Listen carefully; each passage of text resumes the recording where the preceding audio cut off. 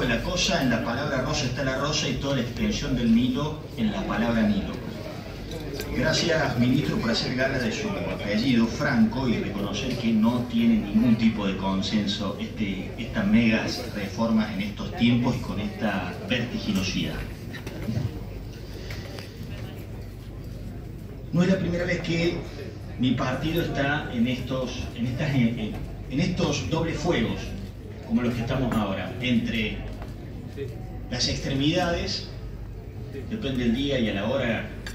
Que chequee las redes, me putean libertarios o kirchneristas, sino también entre peronistas, digamos, ¿no? porque entiendo que usted viene de esa cantera, o no, o participó frondosamente en gestiones de esa cantera, como Ayer Barra y tantos otros, y de pronto entran en discusiones o, el propio Barra eh, dando conferencias de Coronel Perón y recibiendo los epítetos de la otra eh, fracción del peronismo argentino y una, una buena postal de la realidad argentina que va en ese péndulo zigzagueante de peronismo.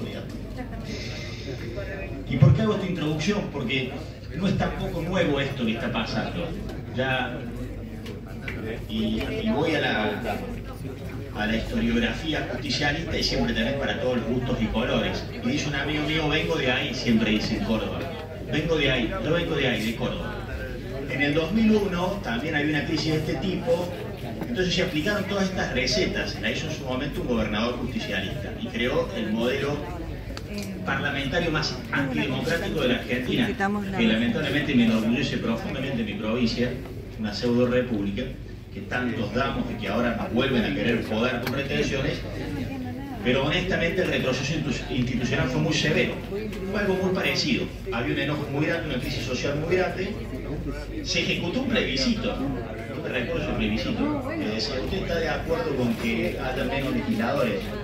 Adivinen el resultado. Se eliminó la bicameral en la provincia. Se hizo de el Parlamento cordobés del cual participé, el más antidemocrático de la Argentina, por muchas razones, pero dos son esenciales.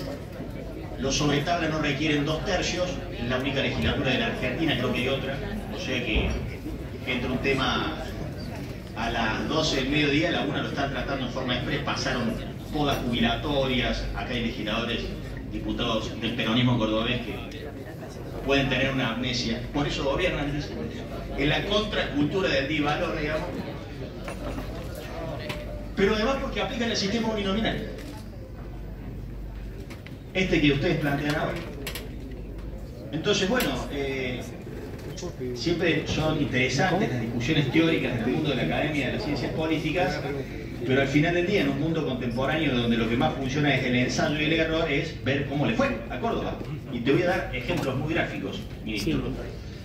Eh, la legislatura que se compone por 70 miembros tiene 26 departamentos. No, ya vengo. No. La provincia de Córdoba, 44 se eligen por el distrito único, representación poblacional, y con los otros 26 intentaron suplir lo que era la Cámara de Senadores. Aclaro que para mí no es una discusión de bicameralidad o subbicameralidad en los distritos, porque no es lo mismo que la nación, que tiene la razón de ser de las provincias precisamente de la nación. Pero, como todo en la vida, bueno, lo haces, lo haces bien, lo haces mal y después matas de herramientas. Eh, el gobierno ha tenido eh, múltiples elecciones donde ha ganado, a veces por exiguo margen, y la estadística representativa da cuenta de esto. Vamos a suponer, si gana el, gober el gobierno de la provincia de Córdoba por tres puntos, estadísticamente en los 26 departamentos o gana por dos, o por tres, o por cuatro, o con alguna rara excepcionalidad, por alguna región verdaderamente separada a la contextualidad provincial, sí, invierte el resultado. Entonces, conclusión en términos de representación democrática, el gobierno gana por tres puntos en la provincia y de los 26 departamentos se queda con 24 legisladores. Por eso se convirtió en una escribanía de lujo, donde los micrófonos no funcionan, los, las bancas no bancan más a nadie y el parlamento ya no parla en la provincia de Córdoba. De manera que esto ahonda, digamos, nuestro desconcierto. ¿Quién, ¿Quién es asesor de traer estas cosas en este momento y con esta urgencia?